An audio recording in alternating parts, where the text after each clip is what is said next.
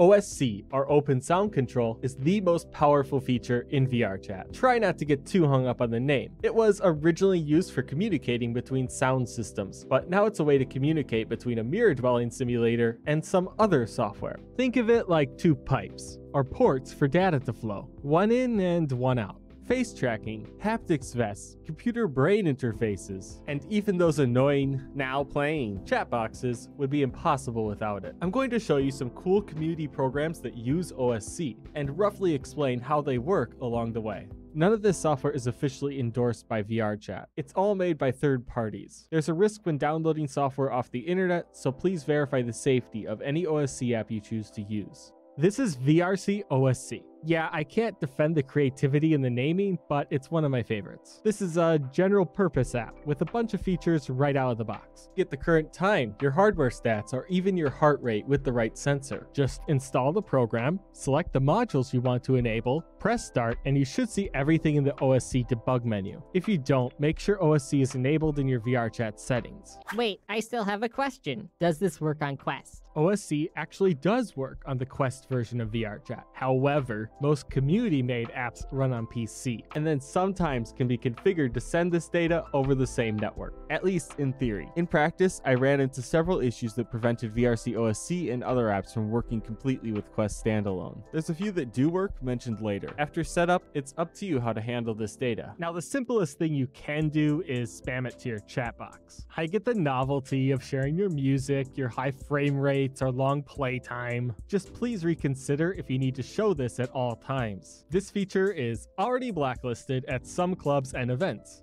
you should know a little bit about VRChat avatars, including avatar parameters. You've probably already seen them controlled through in-game menus. Many of these modules work with your avatar parameters, so instead I encourage you to do something creative, like have your avatar's tail wag faster when your heart rate increases. Now that would be adorable. Sometimes there's prefabs to get you started. There's some examples on the VRC OSC GitHub page, but you might be able to find some more in the wild too. Not everything is just about giving information to VR chat. There's also the reverse. You could mute your Discord mic from your avatar menu. Just one example of sending that data back. I'm not huge on turning VR chat into a controller for other apps, but there are some uses for sending data out mentioned later. You can even create your own modules that run within VRC OSC, but this requires some programming knowledge, so we'll talk about that later. Finally, multiple OSC programs can conflict when accessing the same inputs and outputs. VRC OSC is capable of routing multiple programs' data together through the same ports, so they don't have to fight over who gets attention from Daddy VRChat.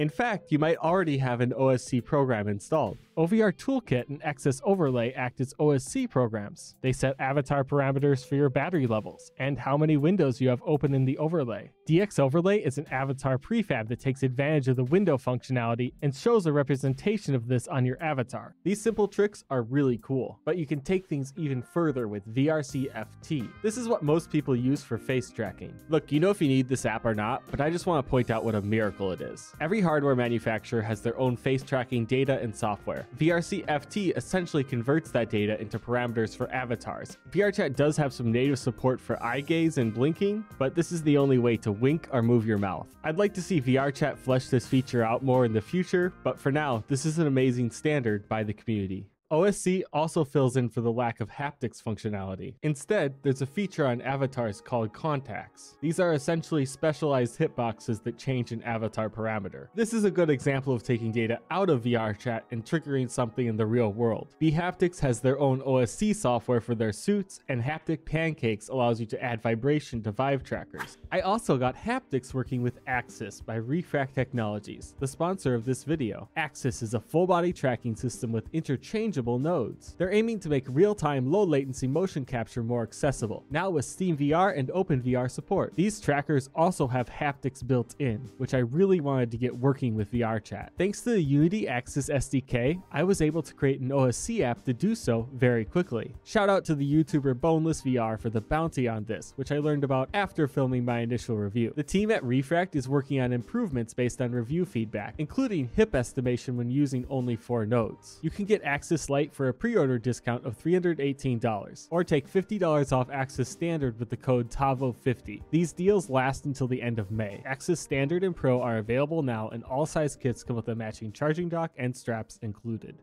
Speaking of full body tracking, instead of having trackers set in Steam VR, VRChat can accept full body tracking data through OSC. Some notable examples I've covered are SlimeVR and Viso FBT. SlimeVR is also one of the very few OSC apps that can run on your Quest headset, enabling standalone play. There's also an unofficial OSC implementation of Axis on PC, though it's more of a proof of concept right now. Even the game input system itself can be driven by OSC. I don't think most players will need other controllers to move around VRChat, but it is huge for accessibility, voice control, or perhaps some sort of automated movement provided you stay within TOS, I guess. There's really no limit to what you can connect to this game. Some people have even rigged brainwave sensing headbands to control their avatars. Right now, you can only do so much, but combined with machine learning, I was impressed to see how far they are pushing these devices. There are also numerous apps for Twitch integration. Stuff like allowing your audience to take over your avatar, firing off animations for follows, and throwing objects at your character. Really anything to get chat's attention and get the donations flowing. Now, I can't cover every app people have made to work with VRChat, but I encourage you to think outside the box here. Maybe you'll find something that you want to make yourself. A common way to get started is TouchOSC.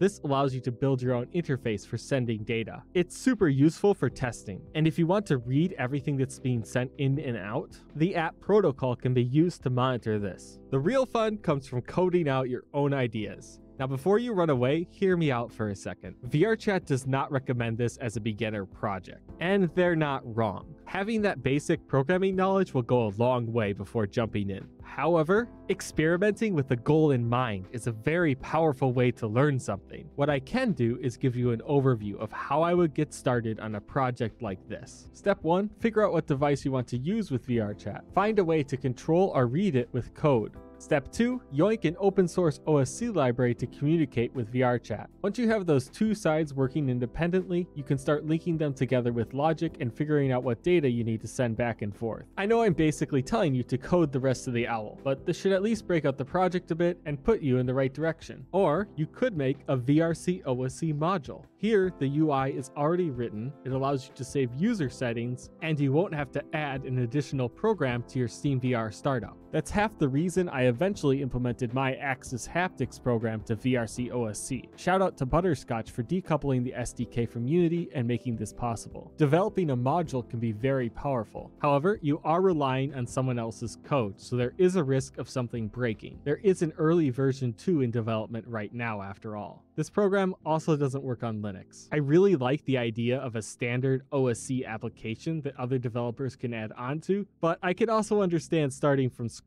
especially if you're selling a product that works with OSC. I know this is leaving a lot open ended, so do your own research and seek out relevant communities if you need help. I hope this video has given you some ideas on how you can use OSC, and we see some unique avatars in VRChat.